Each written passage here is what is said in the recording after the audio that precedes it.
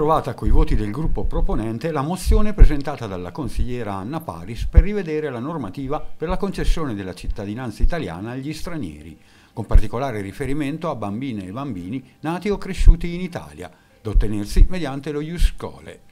Hanno votato a favore PD, Italia Viva e Movimento 5 Stelle. Contrari Fratelli d'Italia, Lega e Forza Italia. Il gruppo misto si è astenuto. Avuto, il risultato è stato quello che mi aspettavo, ovvero le opposizioni hanno votato contro a questa mozione mentre abbiamo avuto la,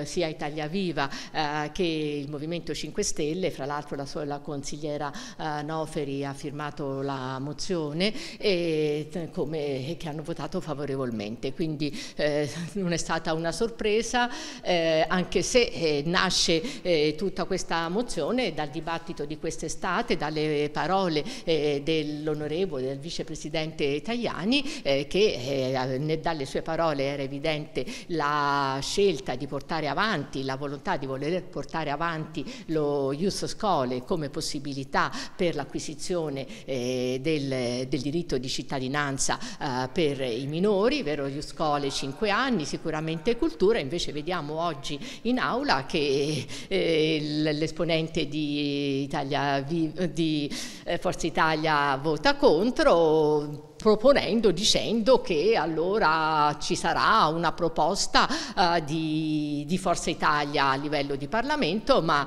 leggiamo pure dal, da, dalla stampa che sembra che forse nel 25, insomma un'opportunità persa. Noi insistiamo perché? Perché i tempi sono cambiati rispetto al 1992 e la normativa che attualmente abbiamo in vigore sono più di 30 anni e l'Italia è molto cambiata. Il Partito Democratico è, ben, è per qualcosa di ben più incisivo dello Ius Cole, noi saremo per lo Ius Soli, e cioè tutti i cittadini e le cittadine nati sul territorio nazionale debbono avere la cittadinanza. Questo è un eh, orizzonte da raggiungere, è un obiettivo da raggiungere di là da venire. Intanto però si potrebbe procedere all'approvazione dello Ius Scole, cioè il riconoscimento della cittadinanza che si basa sull'aver eh, trascorso un, un certo numero di anni nel percorso di formazione nelle scuole italiane.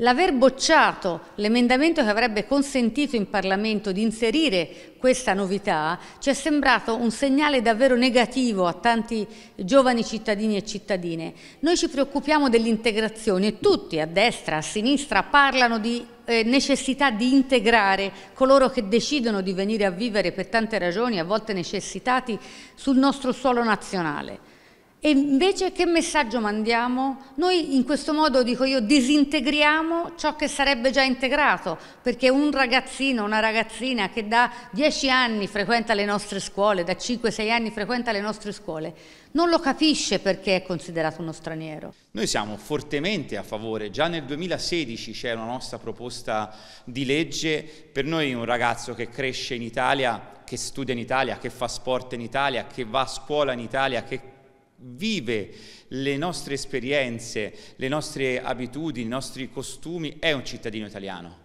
Lo è di fatto e come tale va riconosciuta. L'Italia oggi è il paese più lento da modernizzare i propri processi anche culturali. Nell'Unione Europea sono pochissimi gli stati che comportano la presenza per esempio di dieci anni per avere la cittadinanza, bisogna istruire una pratica, ma non fanno distinguo sui ragazzi, sui giovani. Le Olimpiadi, i ragazzi bellissimi di colore che hanno vinto tantissime medaglie ci hanno dimostrato che c'è un'Italia, una voglia del nostro paese, un attaccamento in alcuni casi ancora superiore a chi magari c'è nato e non c'è neanche vissuto, quindi noi siamo fortemente a favore. Io credo che la mozione di oggi sia doverosa per riprendere un tema eh, che è stato trattato durante tutta l'estate e che mh, riporta a una questione di civiltà e di giustizia. Eh, dare la cittadinanza ai ragazzi eh, che hanno completato un ciclo di studi in Italia credo sia una cosa buona e soprattutto riconosca i principi fondamentali della cittadinanza, cioè la conoscenza della cultura, delle leggi e della storia di un paese in cui si vive. E niente può fare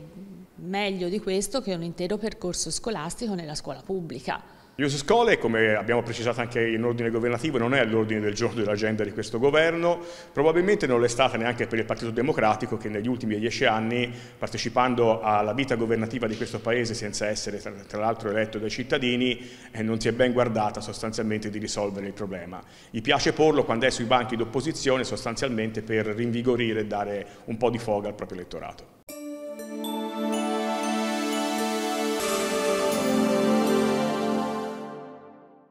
Approvata a maggioranza dal Consiglio regionale la mozione per sostenere la candidatura della Toscana al turno europeo 2040 dei Giochi olimpici e paralimpici. L'atto, presentato da Italia Viva, primo firmatario il capogruppo Stefano Scaramelli, è passato con 31 voti favorevoli, PD, Lega, Fratelli d'Italia, Italia Viva, Forza Italia, Gruppo Misto e un voto contrario, quello del Movimento 5 Stelle. La Toscana si candida ad ospitare le Olimpiadi del 2040, il Consiglio regionale con una larga intesa e ringrazio ha votato a favore alla mia mozione che chiede che la Toscana possa candidarsi ad ospitare le Olimpiadi del 2040. Mi fa piacere il largo consenso delle forze politiche e un'ambizione, quella di portare Firenze al centro di questa grande sfida insieme a tutte le comunità, alle municipalità, a quella Toscana diffusa che sarebbe in grado di ospitare una edizione straordinaria, bellissima delle Olimpiadi. All'Europa compete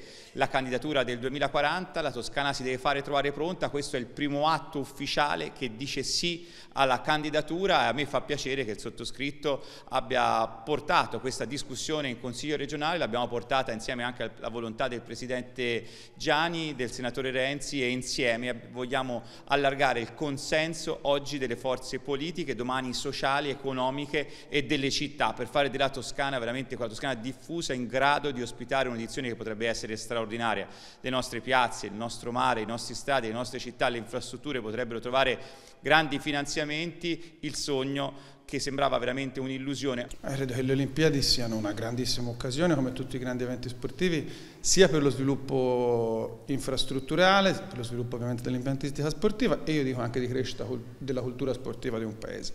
Io francamente tra tutti gli esempi di Olimpiadi moderne, dell'era moderna come si dice, eh, a cui sono più legato e che a mio modo di vedere sono un modello per il lascito che, che hanno dato alla città che l'ho ospitato è Barcellona 92 una città che era girata di spalle al mare e che dopo le Olimpiadi ha riscoperto il rapporto col mare attraverso la riqualificazione di quartieri, la creazione di infrastrutture. Credo che sia un'occasione se gestite bene. È ovvio che, che la strada è lunga, è difficile, che abbiamo una carta olimpica che parla appunto di città ospitante, eh, che eh, le città che hanno visto i, i cinque cerchi, basta vedere le ultime, insomma si parla di megalopoli, Parigi, eh, Tokyo, Rio de Janeiro, Londra, Pechino, insomma bisogna risalire ad Atene per avere una città a dimensione, per quanto sia sempre una capitale, eh, diciamo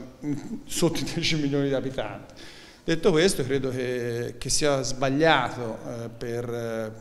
per, la politica eh, rinunciare alla costruzione della candidatura olimpica, eh, rinunciare alla eh, al perseguimento di, del sogno olimpico. Bisogna provarci, intanto il concetto di Olimpiade diffuso ormai è un concetto consolidato, tenete presente che le prossime Olimpiadi invernali Milano-Cortina si svolgeranno tra la Lombardia e il Veneto, le Olimpiadi di Pechino si sono svolte in un'area geografica, in un perimetro territoriale grosso quasi quanto la Toscana. E quindi noi possiamo eh, lanciare le Olimpiadi in Toscana eh, proprio avendo ormai acquisito questo concetto di eh, giochi olimpici eh, diffusi, non c'è più il concetto concetto delle Olimpiadi di Roma, tanto eh, per capirsi e per fare un esempio. E la Toscana potrebbe mettere a disposizione del mondo le proprie piazze. Pensate a delle manifestazioni, ai giochi olimpici nella piazza Santa Croce a Firenze, in piazza dei Miracoli a Pisa, in piazza del Campo a Siena, nelle meravigliose piazze delle città toscane. Pensate a tutte eh, le attività equestri dentro il parco di San Rossore. Pensiamo alla possibilità di fare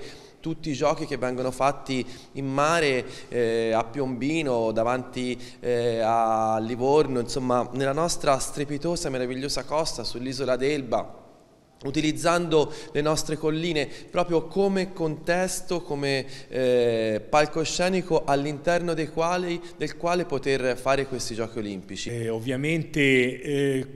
per quanto mi riguarda lo vedo come un un sogno eh, è una cosa meravigliosa poter avere nelle nostre bellissime zone l'Olimpiade. Eh, nel 2040 eh,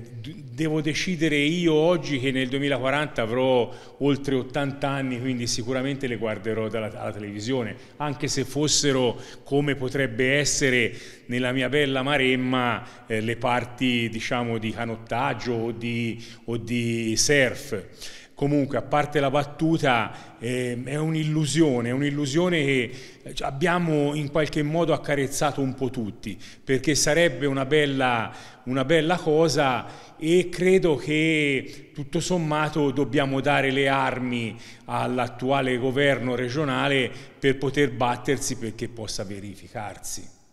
Io sono stata l'unica oggi che ha votato contrario a questa mm, mozione, considerata anche da alcuni consiglieri del Partito Democratico molto utopistica, in quanto la Regione Toscana che noi consiglieri dovremmo conoscere molto bene, ha un territorio e delle strutture che non sono assolutamente eh, consone all'organizzazione di eventi eh, grandi e eh, capaci di raccogliere un grande quantitativo di persone come sono le Olimpiadi, tant'è eh, che mh, insomma, mancano le infrastrutture, mancano gli stadi, ma le stesse nostre città di carattere eh, prettamente medievale non hanno neanche gli spazi per poter accogliere ehm, queste infrastrutture. Per cui mi domando eh, come questo potrebbe essere fatto e soprattutto alla luce della nostra ormai storica mh, ferma posizione contro eh, l'eccessivo consumo di suolo, l'ulteriore consumo di suolo, io ho votato contrario.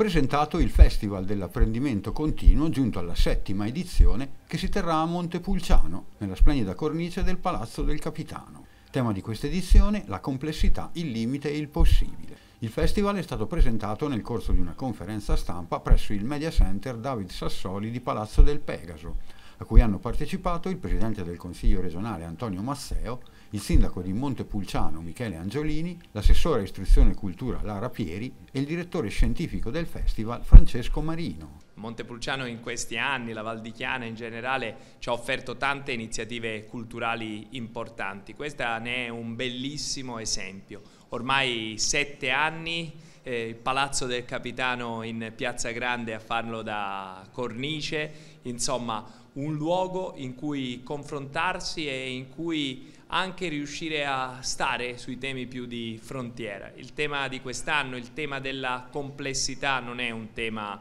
banale. In un mondo come quello che viviamo le questioni che sembrano più semplici invece sono molto complesse e la capacità di saper leggere la complessità può aiutare a costruire un mondo migliore. Quindi un'iniziativa come questa che coinvolgerà non soltanto le cittadine e i cittadini di Montepulciano ma ben oltre, svolge una funzione importante anche nella definizione della Toscana del domani. Quindi mi raccomando partecipate in tanti, sarà, saranno quattro giorni belli densi di appuntamenti. Un evento sicuramente molto importante, motivo di grande soddisfazione che eh, il festival sia giunto alla settima edizione, di cui la, la terza qui proprio a Montepulciano, motivo di soddisfazione perché Montepulciano oltre che continuare a proporre importanti eventi culturali insomma, di, di, rilevanza importante, chiaramente anche attrattiva di eventi sempre di grande spessore, in questo caso non solo per eh, gli argomenti, i temi che vengono trattati, ma anche la possibilità di partecipare all'Exio Magistralis, a tavole rotonde, laboratori, insieme a personalità importanti del mondo, del mondo accademico, della cultura, dell'arte, della storia. Per noi l'apprendimento continuo rappresenta sicuramente un elemento importante per stare al passo anche con il mondo che cambia, continuiamo a, eh, diciamo, a lavorare sul turismo in stretta connessione con, eh, con la cultura per stimolare sicuramente un'offerta un turistica culturale del, di elevato livello ma anche stimolare la partecipazione da parte dei nostri residenti, quindi un, un evento che va nella direzione della nostra comunità locale ma anche in favore dei nostri residenti. Montepulciano continua ad investire in iniziative di grande valore culturale per permettere alla propria cittadinanza di crescere, di poter eh, approfondire tematiche, per migliorarsi come persone, no? perché poi la cultura serve anche a questo, ad una crescita continua e a un miglioramento, eh, per un miglioramento sociale, perché poi si investe nella società. Um, abbiamo messo in relazione più soggetti, c'è l'università, eh, c'è il comune, ci sono le scuole. Eh,